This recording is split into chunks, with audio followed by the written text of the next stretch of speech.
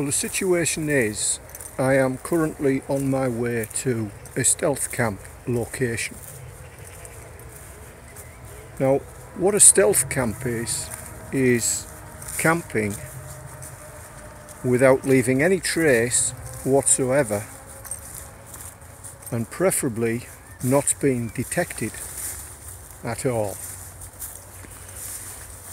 Now, you should check the laws of your country,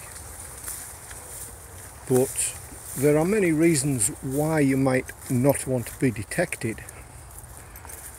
All of them legal, hopefully.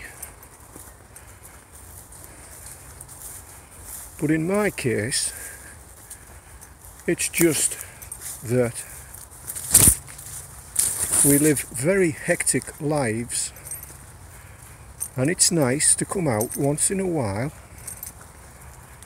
and just camp peacefully with no interference whatsoever. And just feel like you're the only one there. And feel like you own the wood. But be careful because your activities will look suspicious to most people. And they might see you and you might not see them. And their suspicion might cause them to phone the police or the landowner or to get a posse up themselves to come out and find out what's going on. So make sure that what you're doing is within the law. And also expect that if you do get a visit from the law or the landowner, that you can explain why you're there and certainly if the authorities turn up, you can be expected to be searched. So again, make sure what you're doing is legal and you're not carrying anything with you that you shouldn't be. Now in some countries, even if it is public land, you still may need the permission of either the authorities or whoever oversees that land. So, in a way, we're getting away from stealth camping, but uh, you don't want to get caught out. Now, I have stealth camped in various countries over the years where through circumstances, my safety has relied upon it. So I do know a little bit about the basics, which I'll try and cover. But at the moment, we've got to get on scene because we've only got less than two hours now before the sun goes down, and I've got quite a way to go before I get to my location. So I'm going to step up the pace a bit, crack on, and I'll talk to you when I get there.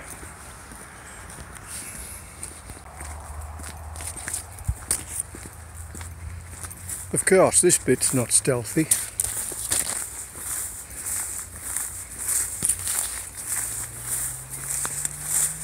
I could have gone a route across fields, well paths, running alongside fields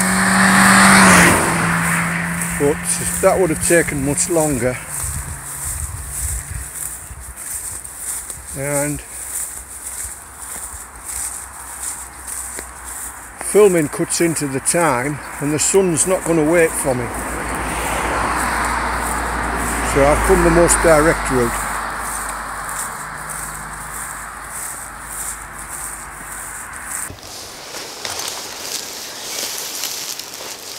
I am now fairly close to the area I want to be. And yes, this is giant hogweed behind me.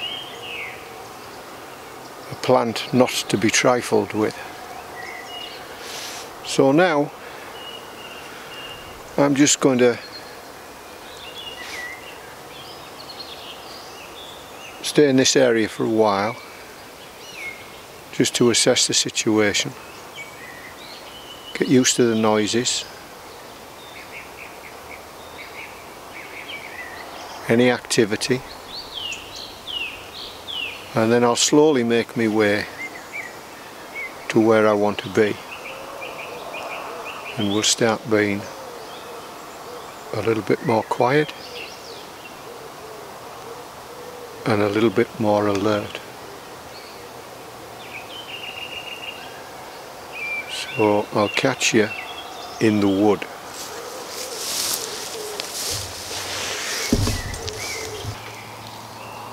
Okay, I'm moving into location now. It's a little bit darker in here than the video would suggest. Two disturbing things I found on the way in.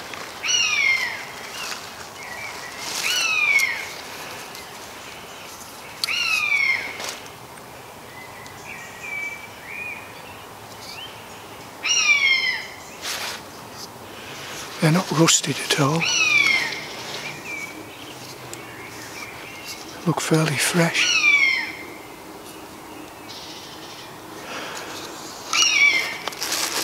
Not far to go now. So I'm being a bit quiet. Just getting used to the sounds. Sun's not actually down yet, but we're in the wood. So, I'll, pr I'll press on.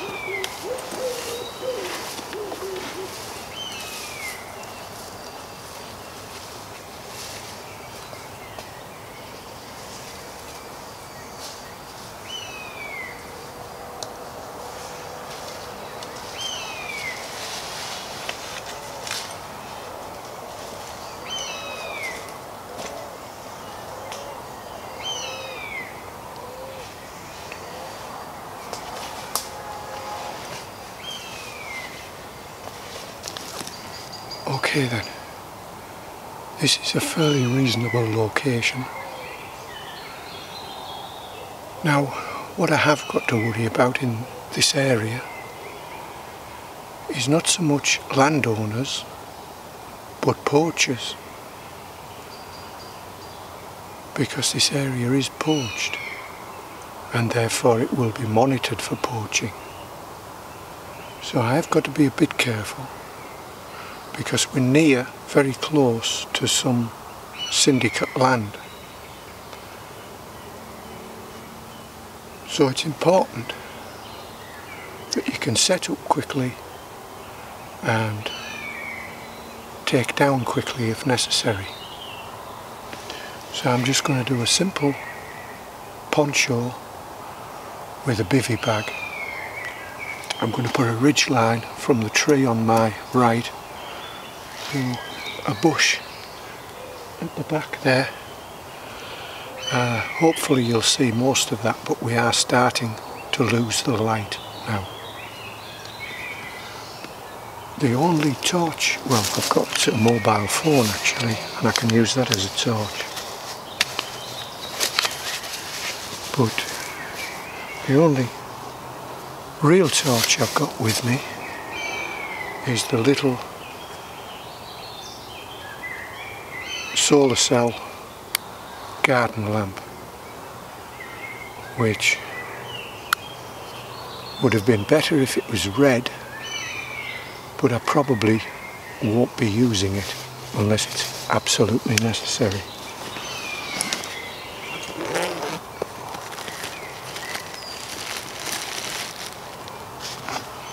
Four tent pegs.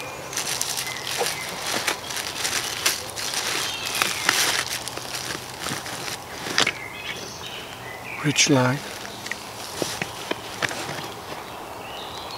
Prusik loops.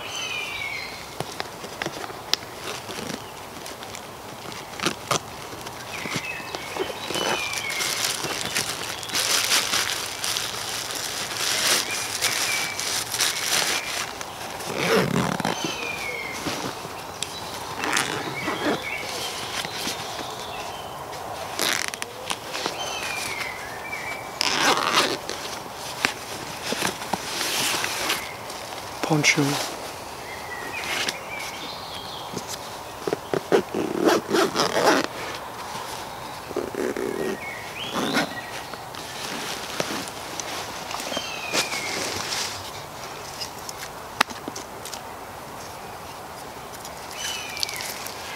Now I'm going to keep the tarp low to the ground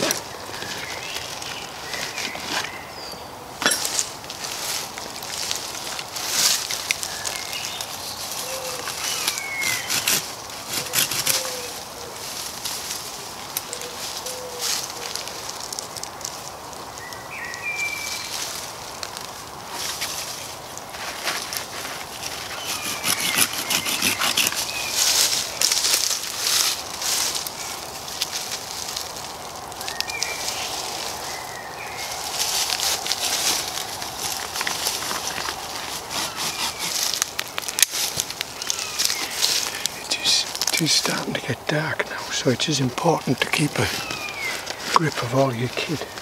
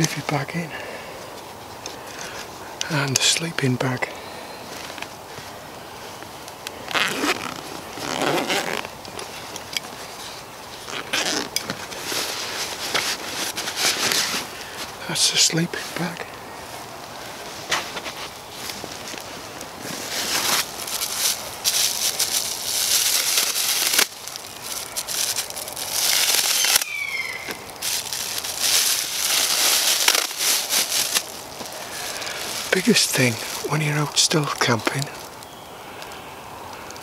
is getting used to the noises, the animals.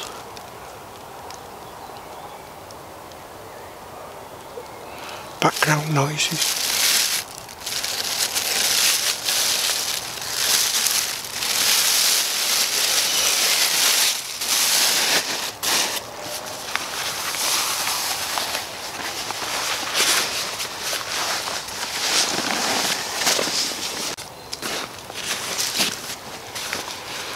Okay, there'll be here.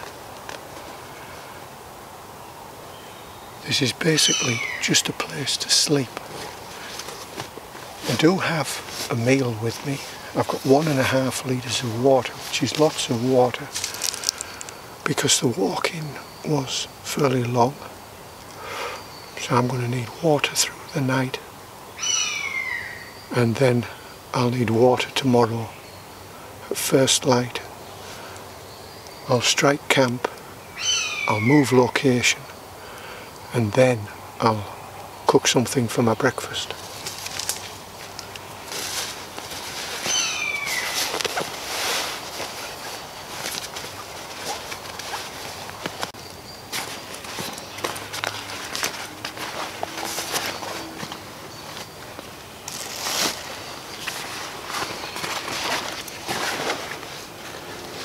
I'm putting everything so if necessary I can make a very quick exit. If needs be, leaving the poncho behind. That would be the last thing I'd leave behind.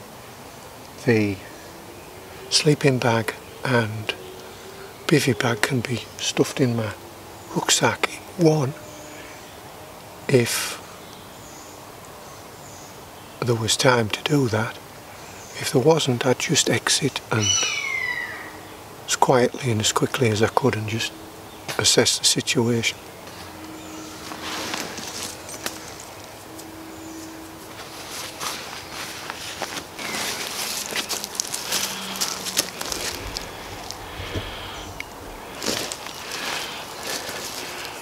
Now, mozzies could be a problem. For that I brought my shemagh,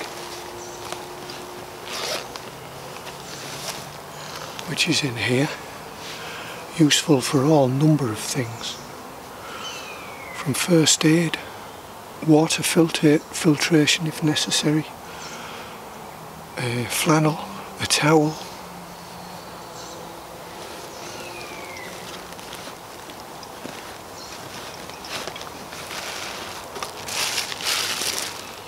a mobile phone and my secondary camera. That's the half litre of water for tonight.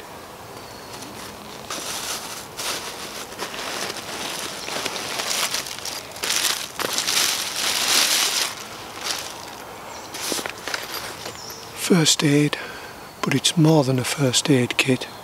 I would use the stuff in here for regular use, such as the scissors, tweezers, even the tape, the alcohol, fire starting if necessary. I've got a bit of paracord in there. I've got paper and notes in there. I've got a toothbrush, toothpaste and carbolic soap as well as first aid items such as an Israeli bandage, plasters, sutures, uh, antihistamines. I'll read out the list when it uh, perhaps is a bit lighter and I'm off location and can talk a bit louder.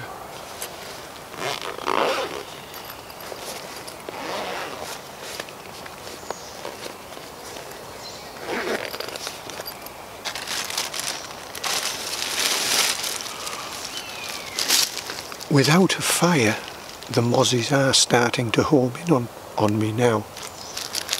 Uh, so that is a good, good reason to have a fire, but not in this location.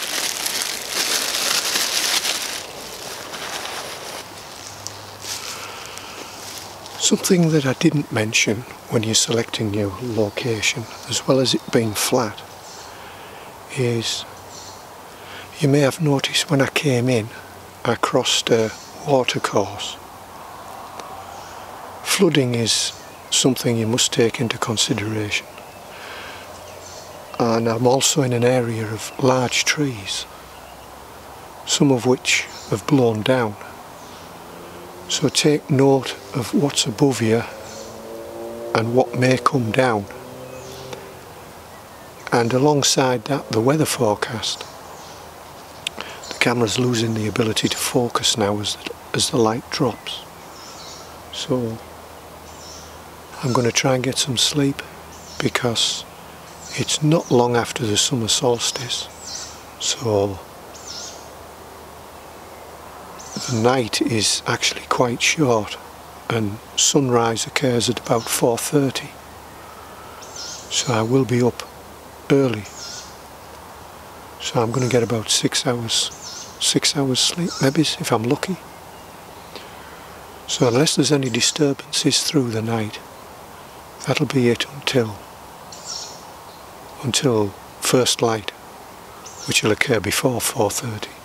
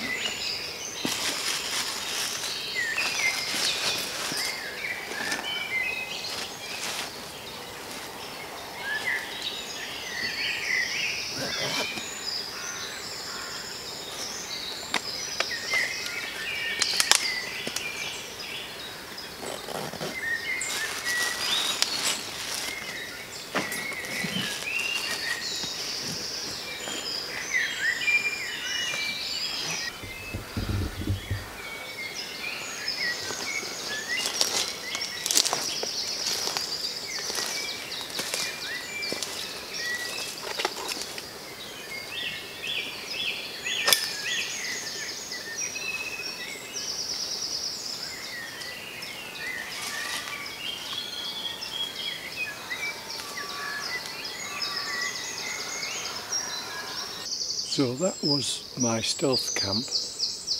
I have come out, I'm almost on the path now, not quite. So I went in at dusk and I came out at dawn, starting to get a, a lot lighter now, it's uh, just gone 10 to 5. So I'm going to have a quick cup of coffee, put the brew on and then I'll make my way home. Now in a way this stealth camp for me was compensation. I would have liked to have gone to the knife show but uh, that wasn't possible due to the situation at home at the moment.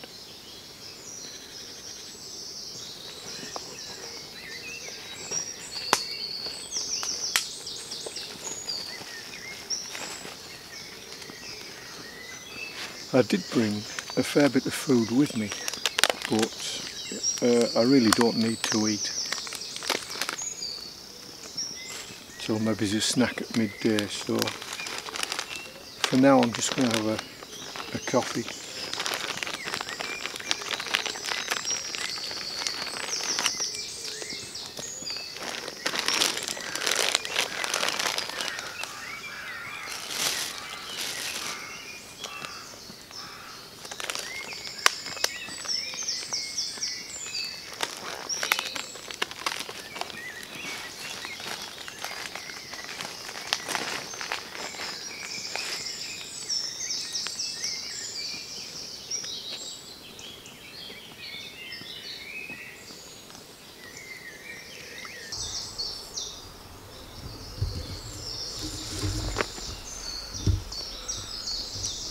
So it's this area on my right that uh, I was concerned about possibility of poachers coming across me or people looking for poachers because this is a private area.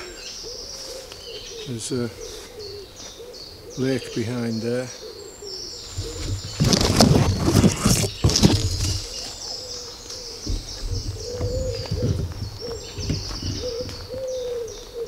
So obviously I would have looked suspicious with the equipment I'm well not equipment as such but the pack I'm carrying on my back and the hours that I'm out. So one thing you want to do in stealth camping is not draw attention to yourself either by the way you're dressed or your behaviour.